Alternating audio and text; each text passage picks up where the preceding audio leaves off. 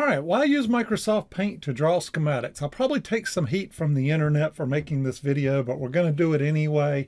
One, it's free, it's easy, it's simple, it works, okay? I get it. There are times you want to use tools like LT Spice when you can simulate your circuits. There are times you want to use EagleCAD or something where you want to take your product and send it off and get a circuit board uh, made from it.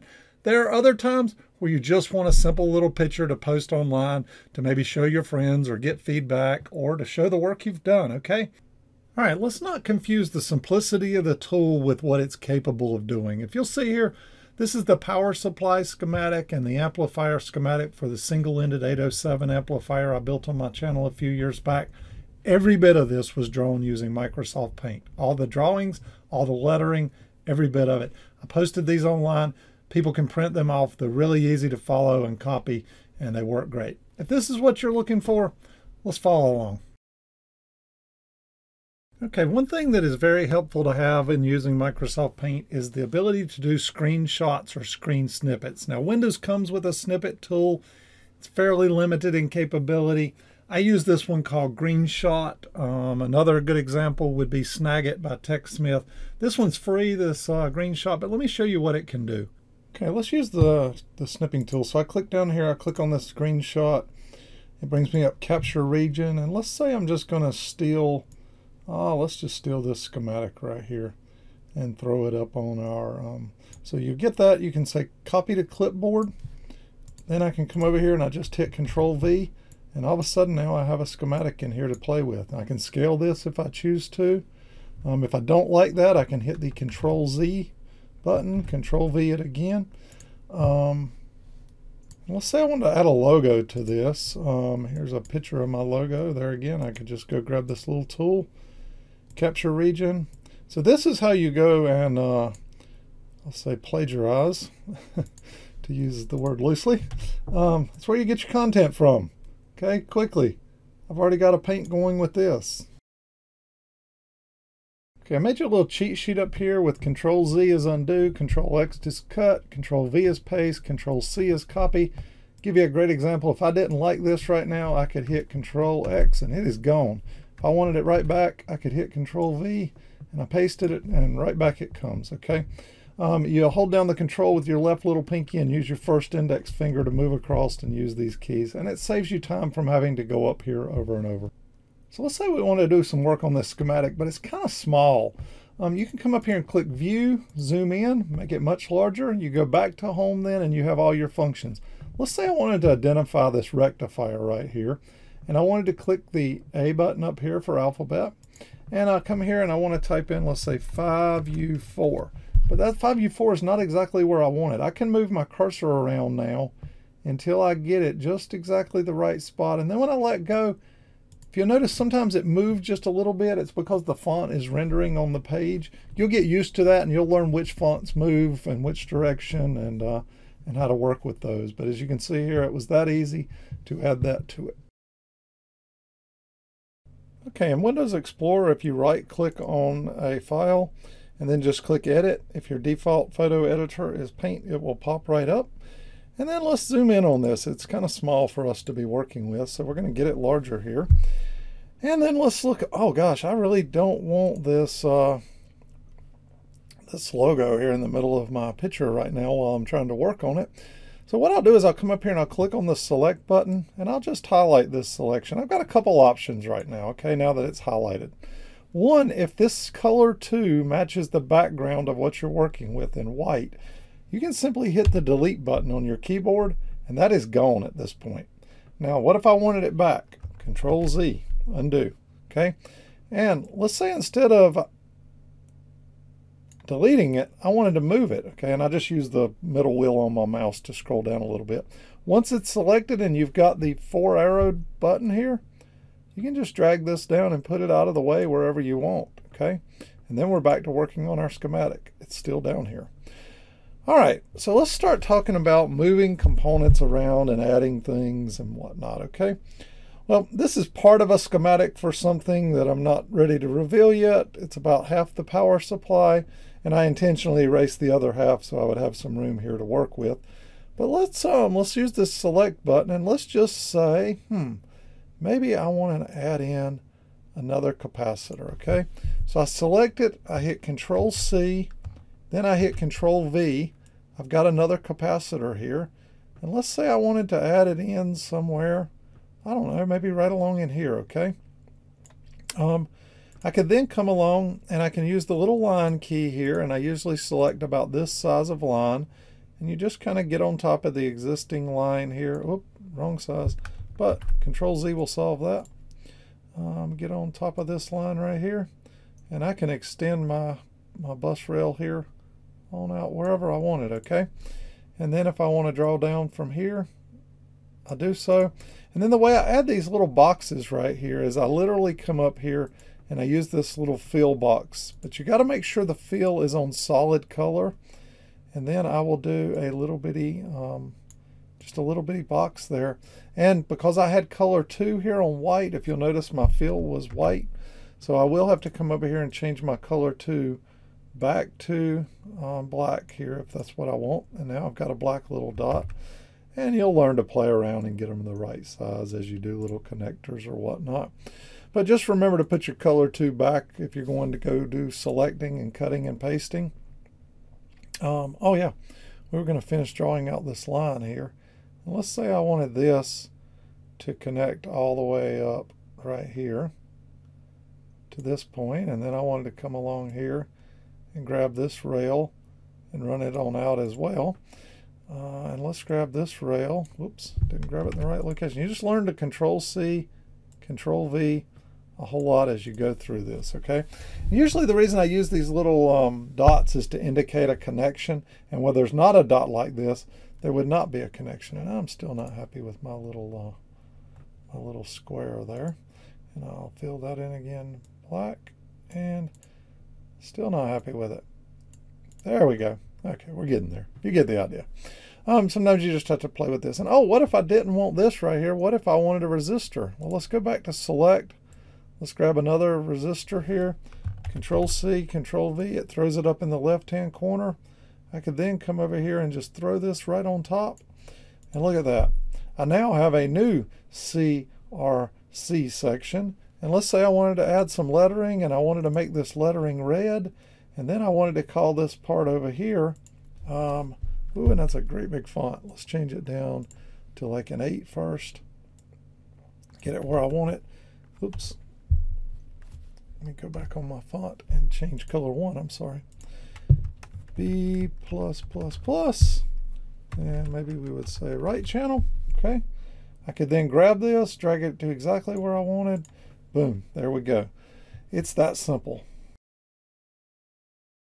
If you'll just remember how powerful select is. So let's say at the end of the day here, for whatever reason, I wanted to chop all this off right here. I could come in here. Oops. Why did it do that? Because I didn't have my color on the background here, my second color white. It filled in the background. I could just chop it all off right there if that's where I wanted my schematic to end at. Right there. Um, you use this select, remember? Hmm, I put that here. I didn't, that's not where I wanted it. Grab the four box. Simple enough. Drag it to where you want it, okay? Oh, I want to put another one of those somewhere else. Control C, Control V. You've got another one up here. Let me drop one in right here. Now I'm starting to do things that don't make sense in a power supply. But any rate, you get the point. Simple little line here. Make sure it's this. Make sure the color is black. I could come along here, drop on top of this line, bring it straight over, connect it right in.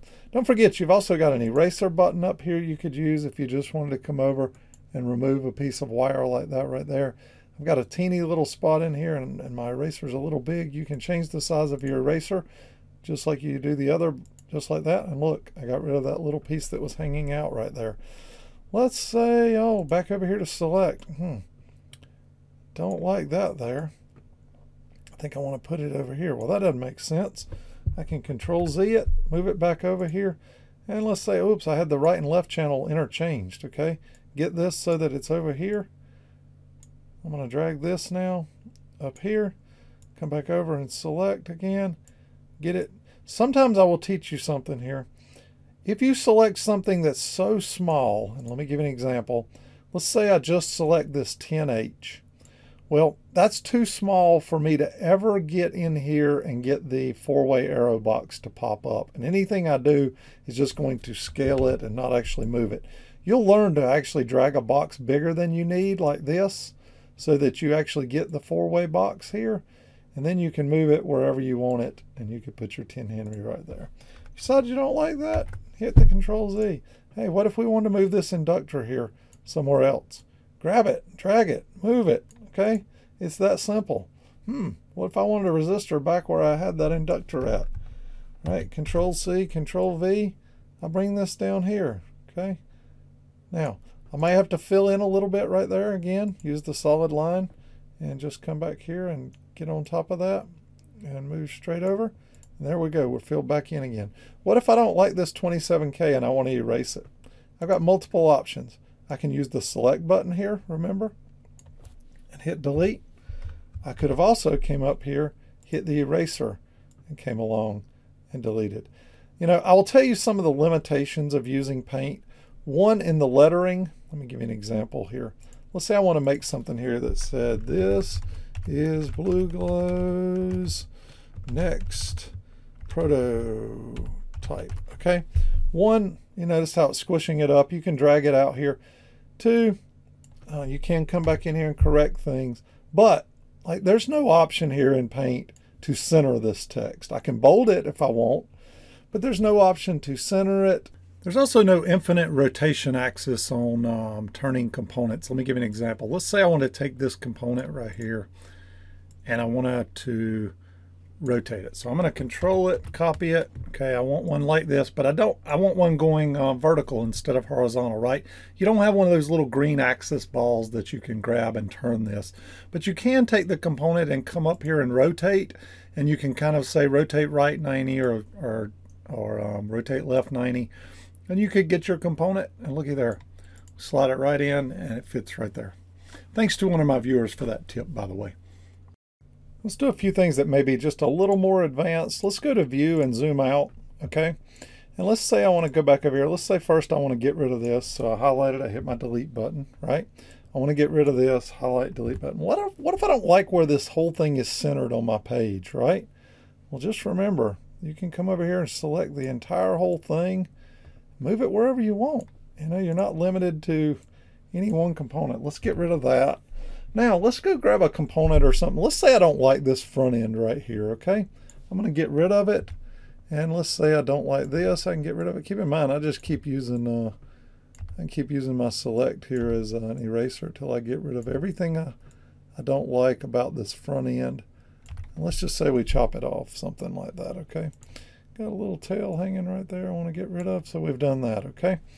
Let's say I want to go over here now and grab something off of this other so this might, so this is off a web page. You could grab any piece off of any website anywhere.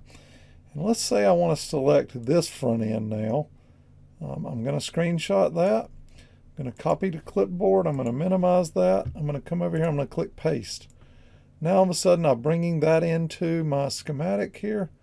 And look at that. I now have a whole new front end I think you're starting to get the idea now that this is a fairly powerful tool that you can use to do lots of things with if you if you so chose. A tip or two I'll leave you with here as we're wrapping this up.